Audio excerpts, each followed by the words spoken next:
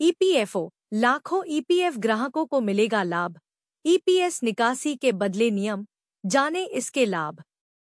केंद्र सरकार ने ईपीएस उन्नीस सौ पंचानवे में संशोधन करते हुए छह महीने से कम अवधि के नौकरी करने वाले सदस्यों को निकासी लाभ प्रदान करने का निर्णय लिया है, जिससे 23 लाख से अधिक सदस्य लाभान्वित होंगे।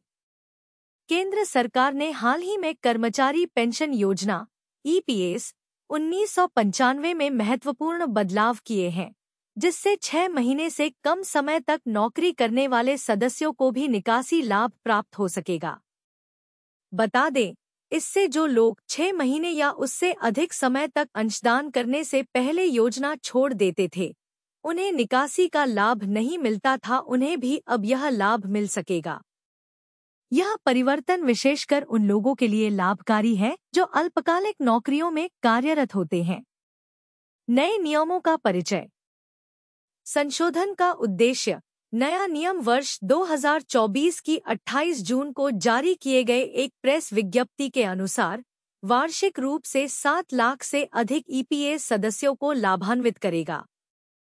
इससे पहले केवल वे सदस्य ही निकासी लाभ के पात्र थे जिन्होंने कम से कम छह महीने तक योगदान दिया था। तालिका डी में संशोधन। सरकार ने तालिका डी में संशोधन किया है, जिससे निकासी लाभ की गणना अधिक उचित ढंग से की जा सके। इस संशोधन से 23 लाख से अधिक सदस्यों को लाभ होगा। विवादों का निपटान। इस नए नियम से उन सदस्यों के विवाद समाप्त होंगे जिन्होंने छह महीने से कम समय तक योगदान दिया था और उन्हें निकासी लाभ नहीं मिल पा रहा था। निकासी लाभ क्या है? निकासी लाभ वह राशि है जो ईपीएस सदस्यों को उनकी योगदान की गई सेवा के आधार पर प्रदान की जाती है, जब वे पेंशन के लिए योग्यता प्राप्त वर्ष संख्या को पूरा नहीं कर पाते। यह लाभ उन सदस्यों को आर्थिक सहायता प्रदान करता है, जो पेंशन योजना से निर्धारित अवधि से पहले ही बाहर हो जाते हैं। यह नियम परिवर्तन कर्मचारियों के लिए एक बड़ी राहत के रूप में काम करेगा जो कम अवधि के लिए नौकरी करते हैं।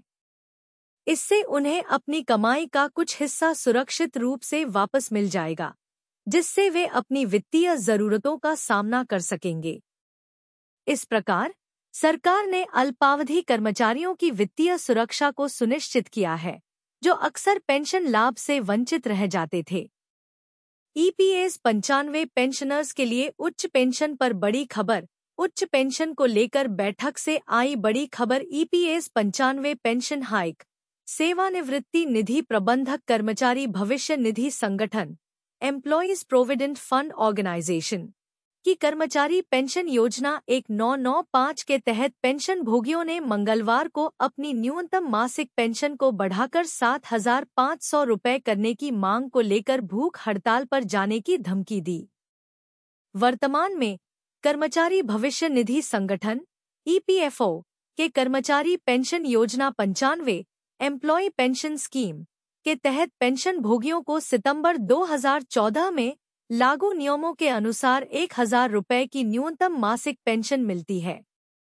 ईपीएस पंचानवे पेंशन हाइक समिति द्वारा मंगलवार को जारी एक बयान में कहा गया, कर्मचारी पेंशन योजना पंचानवे एम्प्लॉय पेंशन स्कीम, की राष्ट्रीय आंदोलन समिति के नेतृत्व में पेंशन भोगी राष्ट्रीय राजधानी के जंतर मंतर पर दूसरी अनिश्चितकालीन भूख हड़ताल शुरू करेंगे। जिसमें न्यूनतम पेंशन को बढ़ाकर सात हज़ार पाँच सौ रुपये प्रति माह करने सहित विभिन्न लाभों की मांग की जाएगी। समिति ने कहा कि केंद्रीय श्रम मंत्री भूपेंद्र यादव के आश्वासन के बावजूद उनकी मांगे पूरी नहीं की गई हैं। पेंशनर्स का मांगा जा रहा है डाटा। सुप्रीम कोर्ट के फैसले के डेढ़ साल बाद भी पेंशनर्स का डाटा सिर्फ़ हायर पेंशन के लिए मांगा जा रहा है। अब ईपीएफओ ने 31 मई 2024 तक का समय मांगा है। पेंशनर्स का कहना है कि कर्मचारी भविष्य निधि संगठन एम्प्लॉयज़ प्रोविडेंट फंड ऑर्गेनाइजेशन का कोई भरोसा नहीं है, है कि वह कब और समय मांगेगा। ईपीएफओ ने अब तक चार बार समय बढ़ाने की मांग की है। अब ऐसा लग रहा है कि 2024 में लोकसभा चुनाव के बाद यह पूरी प्रक्रिया बंद हो जाएगी। हाई पेंशन को लेकर नया कानून। इस देरी के कारण मौजूदा पेंशनर्स और अन्य कर्मचारी इस बात को लेकर तनाव में हैं कि आने वाले दिनों में हमारी हायर पेंशन का क्या होगा। कर्मचारी पेंशन योजना पंचानवे एम्प्लॉय पेंशन स्कीम, अब यहाँ तक चर्चा करने लगे हैं। कि अगर मौजूदा केंद्र सरकार दोबारा सत्ता में आती है तो सुप्रीम कोर्ट का फैसला नहीं माना जाएगा और केंद्र सरकार हायर पेंशन न देने को लेकर नया कानून लाएगी। ईपीएस पंचानवे पेंशन हाइक केंद्र सरकार ने खुद ही पेंशन योजना बंद कर दी।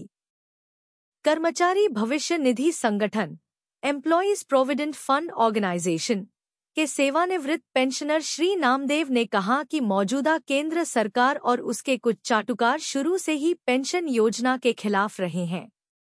उनका बस चले तो पेंशन बंद कर दें। उनका हमेशा से मानना रहा है कि पेंशन एक उपकार है, इसलिए रिटायरमेंट के बाद पेंशन देने की ज़रूरत नहीं है। इसी तरह के तर्कों के कारण पुरानी पेंशन बंद कर दी गई। सेना में पेंशन भी बंद कर दी गई। अगर मौजूदा केंद्र सरकार इस बार सत्ता में लौटती है तो वह सभी कर्मचारी पेंशन योजना पंचानवे एम्प्लॉय पेंशन स्कीम योजनाओं को बंद कर सकती है। सुप्रीम कोर्ट के फैसले के बाद भी नहीं दी गई उच्च पेंशन।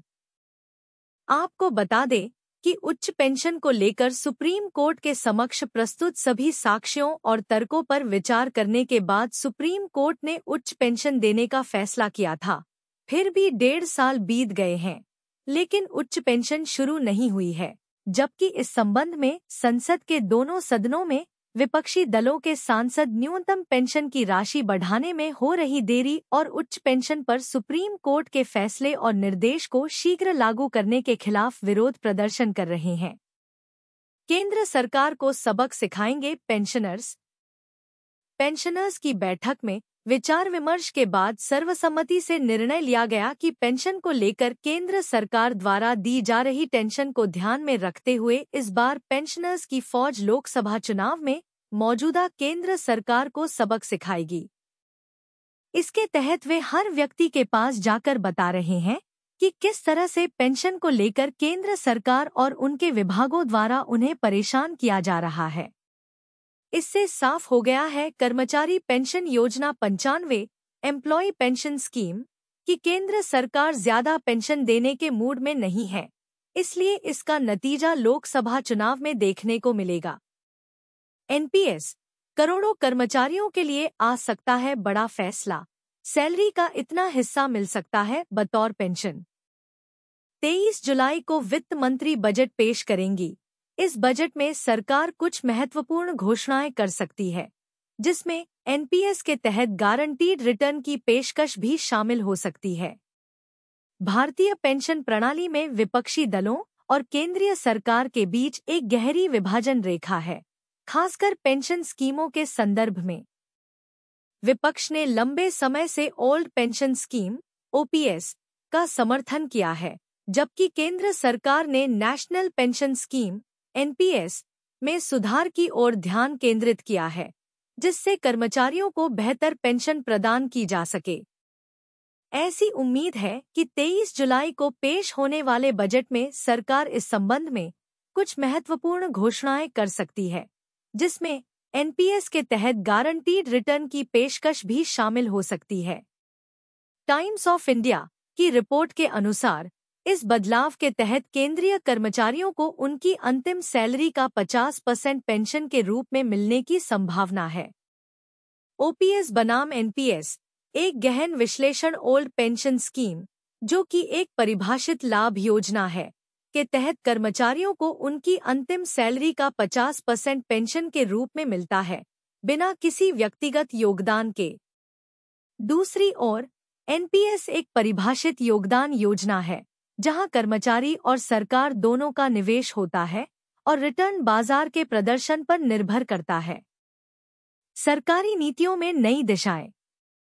वर्तमान मोदी सरकार ने ओपीएस की वापसी का समर्थन नहीं किया है, लेकिन इसके बजाय एनपीएस को अधिक आकर्षक और लाभकारी बनाने की दिशा में कार्य किया है। 2023 में वित्त सचिव टीवी सोमनाथन की अध्यक्षता में गठित समिति का मुख्य उद्देश्य यही था। इस समिति ने अंतर्राष्ट्रीय प्रैक्टिस और आंध्र प्रदेश सरकार की पेंशन पॉलिसी का अध्ययन किया है, जिससे एनपीएस में गारंटीड रिटर्न की संभावना को बढ़ाया जा सके।